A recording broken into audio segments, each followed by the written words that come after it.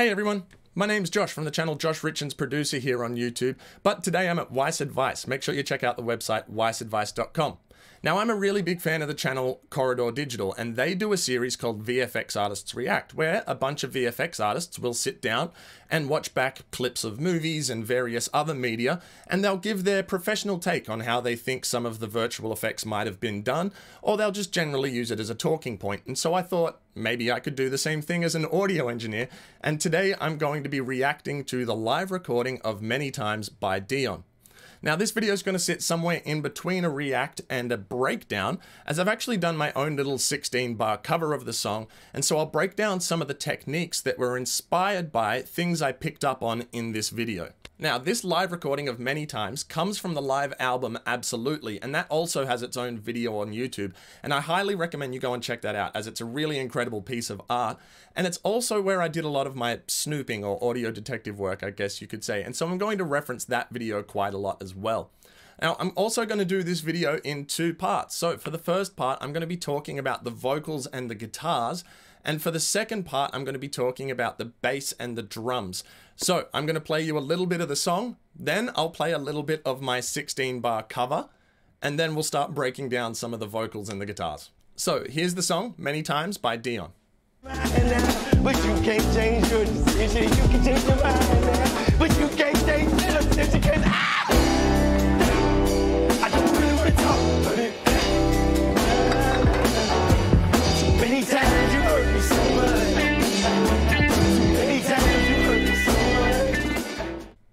And now, here's my 16 bar cover of Dijon's Many Times.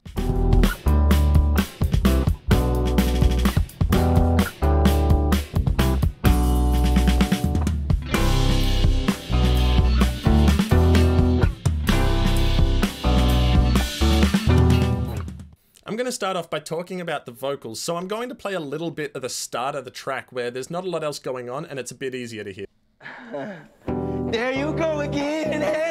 putting on a show again. It's the holidays, I come it always in this way. You can take pressure off, you just to put it on.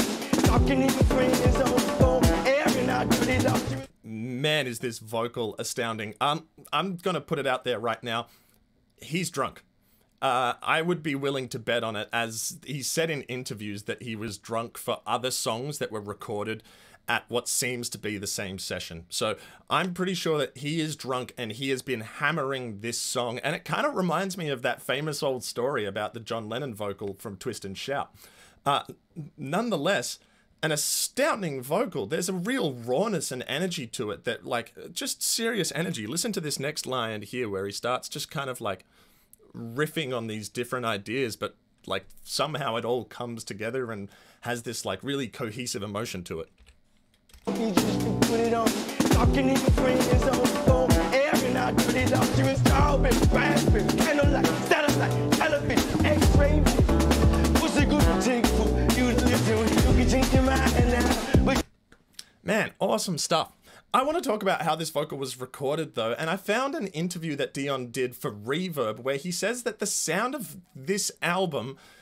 is an omnidirectional pickup pattern. I will admit though that that article isn't very clear as to whether he is directly talking about this live session or whether he's talking about the studio versions of the same songs. Nonetheless, if you're like me and you watch stuff trying to dissect how it was all done or put together, you might have asked yourself, where's his vocal mic? And I think there's a pretty simple answer for this. I think it's dubbed. For this take in particular, I think that they've dubbed his vocal over the top and they've probably done it like directly afterwards, probably in the, or at least in the same session, uh, because his vocal sounds so close to what is going on. And there are so many other recordings where it's obviously not dubbed and you can hear that his voice is that same thing. It's that like raspy, beat up, been singing for ages voice. And there's a really good example of that in the entire video for Absolutely. So I want you to check this moment here out. Listen to the sound of the vocal, and if you've got headphones or a good set of speakers, I really want you to listen to where that vocal is coming from in the stereo spectrum.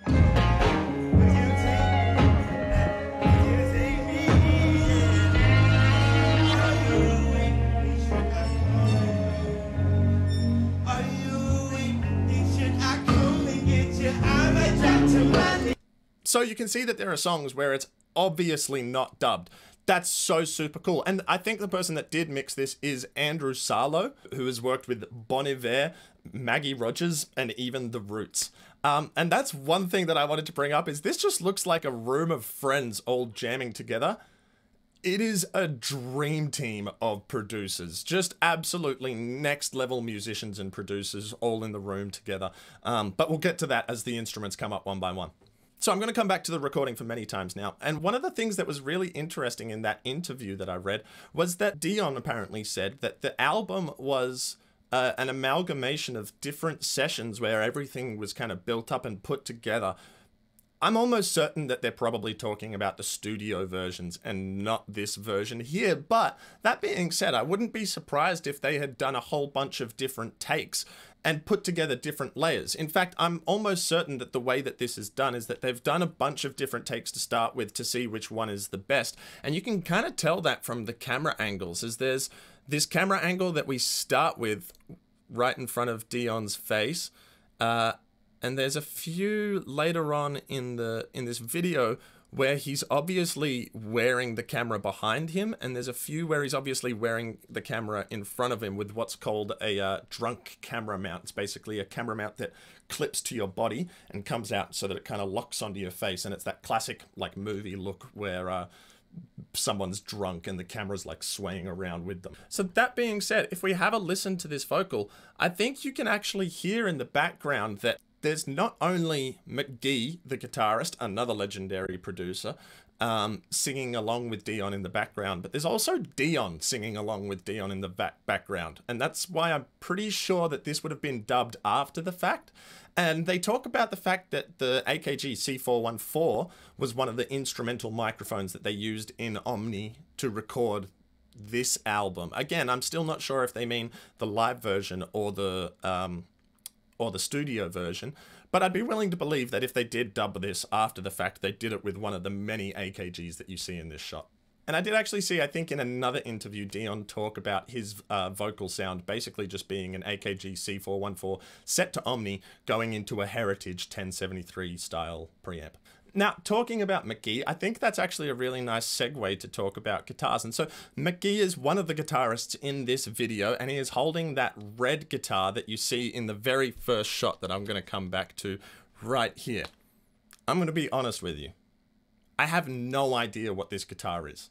I spent a really, really long time trying to figure out what this guitar is, and I even sent it to owners of music stores and guitar collectors asking them if they had any idea. So if you know, please let me know in the comments. I have two guesses. Either it's a vintage body that's had a Telecaster neck put on it, or it's a custom build. Uh, and I think I'm leaning towards custom build as you can see from this first shot here that it's got a whole bunch of really intriguing contours up on the uh, upper horn and the forearm contour as well uh, that I wouldn't expect from a vintage instrument like this.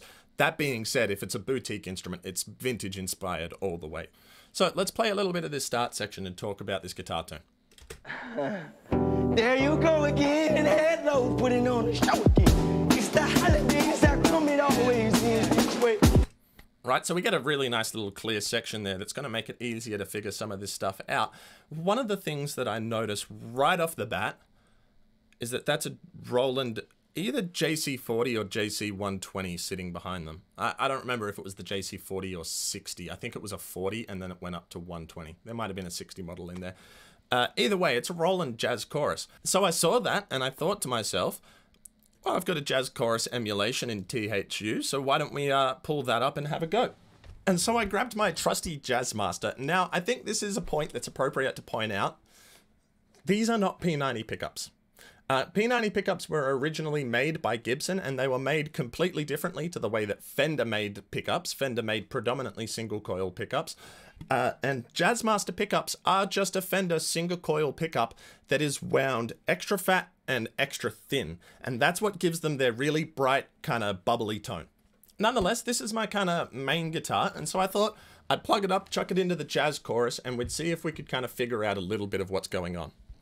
So here's the tone starting off with my Jazzmaster. I'm on the bridge pickup, And I've got my tone rolled back just a little bit as this is a particularly bright guitar and the P90s aren't as bright as Jazzmaster pickups. So this is the sound right off the bat.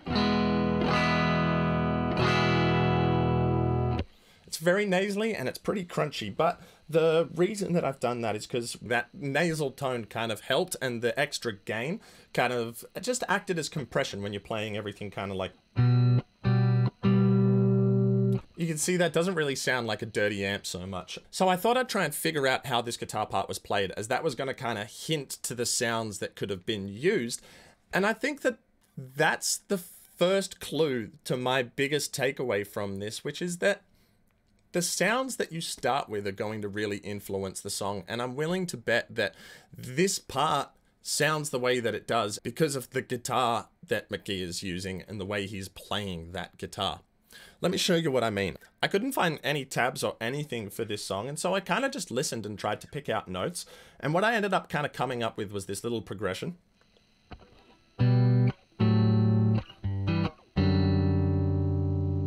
Right, pretty clunky. That was pretty close. Let me show you. There you go again. Hello, putting on a show. Now here's my version with the Jazz Master and the Jazz Chorus emulation. So much jazz.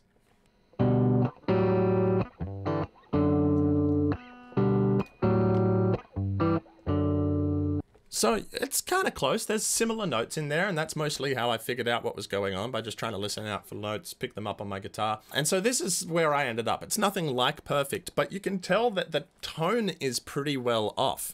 And if we come back over to the video and pay close attention to what's going on here, you can actually see that this fourth string is the same color as the first three strings and not the next two. So he's got a wound fourth on the guitar, and that's because it's a baritone guitar. He's talked about it in his setup before. He normally plays a Jaguar, so pretty close to the kind of Jazzmaster sound if I had this set up as a baritone. Um, but in this case, he's got this mystery P90 guitar with the rocker switches that just looks heinously cool. So I grabbed my Ibanez hollow body, which is set up as a baritone guitar. And I basically just did the same stuff. We've got the jazz chorus emulation. This time I did have a little bit of drive beforehand because I, I wanted that kind of like low end cut that you get from the Tube 9, given how much low end I was getting out of the baritone. Um, and I wanted, like I said before, that kind of drive that makes it like hot, but when you're finger picking everything, you can still get like a clean tone out of it. Still nicely clean. So once again, I just tried for the to listen for the notes and figure out how it was played, and I still don't think I've got it exact. But with the baritone, I ended up with this progression. And in the choruses, it's just a rearranging of those same uh, those same chords. So it's. And so with all of that, I ended up a lot closer. Once more, the guitar from many times. There you go again. Putting on a show. And now my baritone version.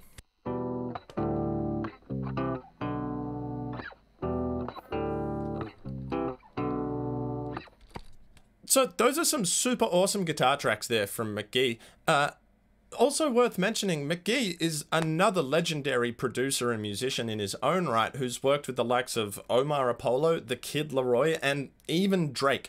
Now, as we move into the chorus, we get a second layer of guitars, and let me play a little bit of that for you now.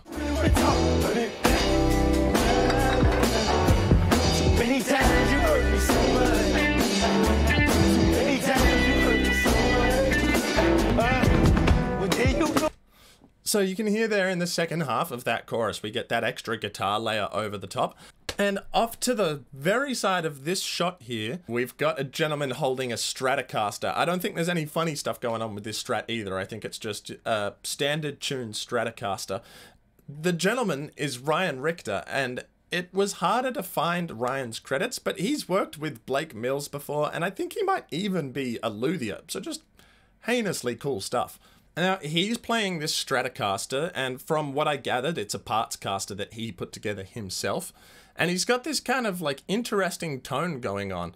Um, as far as amps go, there's a fair few Roland jazz choruses in the room, but looking through the rest of the video, I did notice a tweed amplifier. I couldn't quite make out what it was, but I don't think it was a, uh, a, a boutique kind of tweed thing or anything like that. I think it was a Fender. And so for this second guitar tone, for this chorus layer, I've used a few different plugins.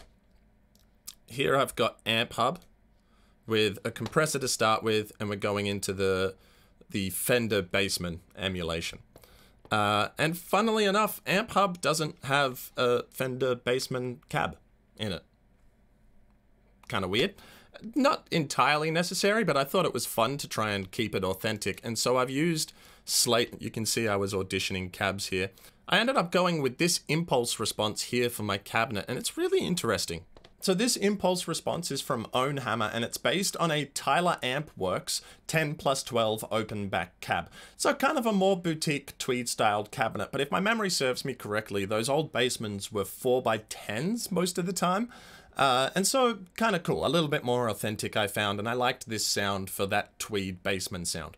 Now, my last plugin here is a uh, reverb and that's just because that there's so much room in the recording that they had that the, the tone just didn't feel very close. I think that they're probably just using like a close capture for Mk.gee's guitar tone, but for Ryan's, I think that there's a lot of like room bleed for that guitar tone. What I ended up with sounded like this.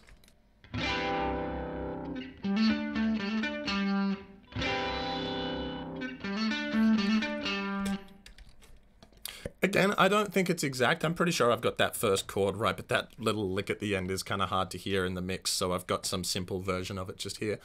Uh, and I think this might be a little bit spicy just off the bat, so I might just turn the volume back on this um, compressor just here. We'll see what we get.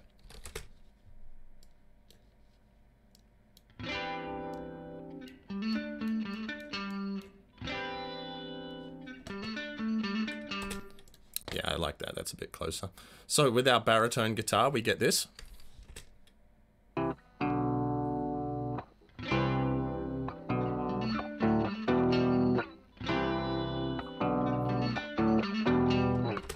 Cool stuff. None of these things are particularly difficult on their own, but together they come together to make something really nice. And I think that's an awesome lesson. That's something that I've heard from Kenny Beats, um, is an idea where you, a whole bunch of really simple things come together to make something really complex and beautiful.